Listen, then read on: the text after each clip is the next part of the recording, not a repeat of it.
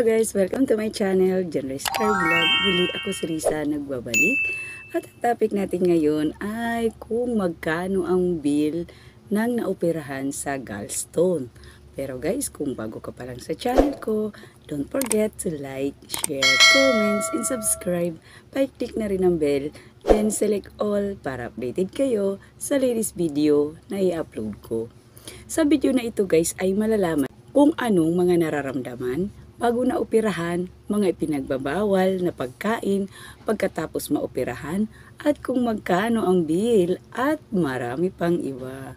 So panoorin nyo po ito guys para may matutunan po kayo at para may guide din po kayo. So ito guys ay karanasan ng aking kaibigan at hindi ko na po babanggitin ang kanyang pangalan para sa kanyang privacy.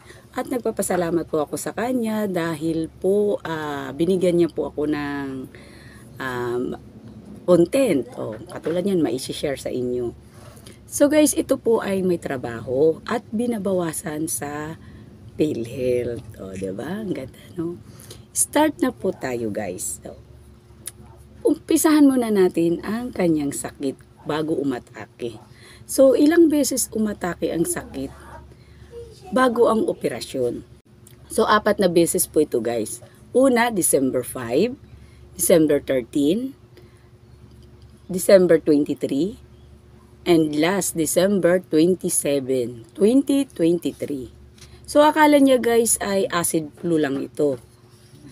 No, ano-ano ang mga nararamdaman? So ito ha, hindi makadumi, bloated masyado, kumikirot sa gabi yung tipong patulog na siya na hindi alam kung paanong kilos ang gagawin para ito ay humupa ang sakit. So dahil hindi na nga niya nakayanan ng sakit, uh, doon na nagpa-ultrasound na po siya sa abdomen at yun nga po ay may nakita. Ano ang kanyang sakit? Ito guys sa acute cholelithiasis gallstone disease. Tapos may high blood pa po siya.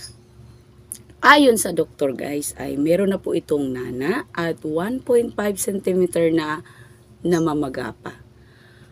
Kung hindi naman mauoperahan, mauwi po ito sa cancerous kasi paulit-ulit lang at maninilaw ang pasyente at higit sa lahat matitegi.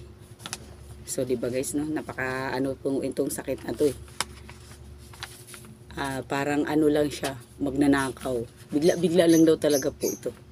So, January 26, 2024, na-admit po siya.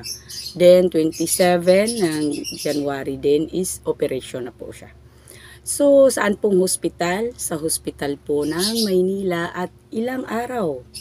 Anim na araw po siya sa hospital guys. So, naopera na. Dito naman tayo sa mga bawal niyang kainin dahil tapos na po ang operasyon. Ito guys ay mga cheese, beef, pares, mga processed food, maasim ang anghang, maalat na pagkain, junk foods, mamantikang pagkain, matatamis na pagkain, mga pinrito, gatas, chocolate, kape na 3 in 1. So guys, napakarami pong bawal sa totoo lang.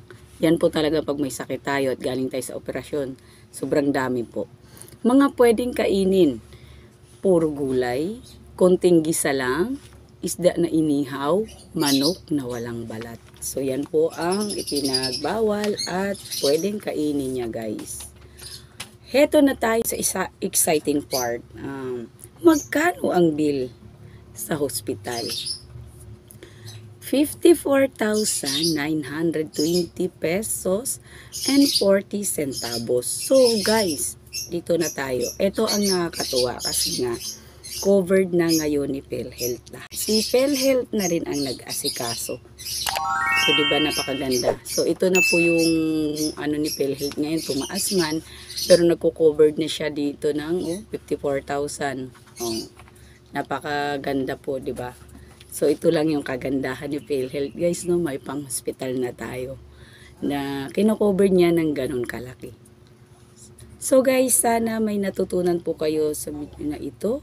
Don't forget to like, share, comments, and subscribe. I-click na rin ang bell, then select all para updated kayo sa latest video na i-upload ko. Hanggang sa muli. Bye-bye!